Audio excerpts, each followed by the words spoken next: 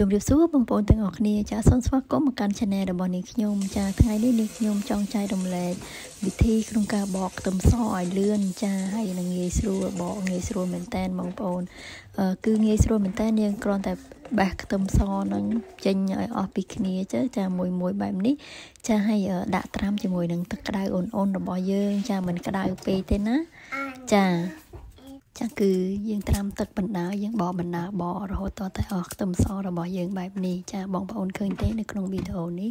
គឺសម្បកខ្ទឹមរបស់យើងមកទាំងផ្ទាំងទាំងផ្ទាំងតែម្ដងហើយស្រួលបកមិនជាប់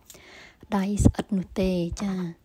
គឺដោយសារតែយើងត្រាំទឹកអញ្ចឹងហើយទើបសម្បកខ្ទឹមយើងវាមានជាតិជាមួយនឹងទឹកគឺវារបបមកស្រួលហើយមួយវិញទៀតបើសិនមកយើងត្រាំទឹកបែបនេះហាក់ដូចជាយើងបានលាងសម្អាតខ្ទឹមសរបស់យើងថែមមួយកម្រិតទៀតអញ្ចឹងដែរ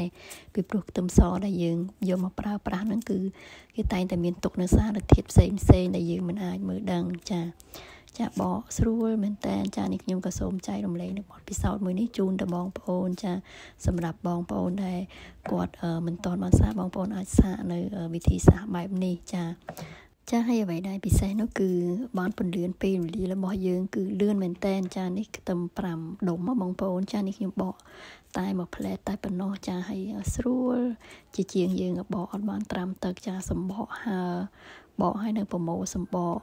ហើយនាងខ្ញុំគិតថានេះគឺជាការចែករំលែកមួយ ដែលមានសារៈសំខាន់សម្រាប់បងបងក៏ដូចជាបងប្អូន ចាស្រឡាញ់ខាងការធ្វើម្ហូបចា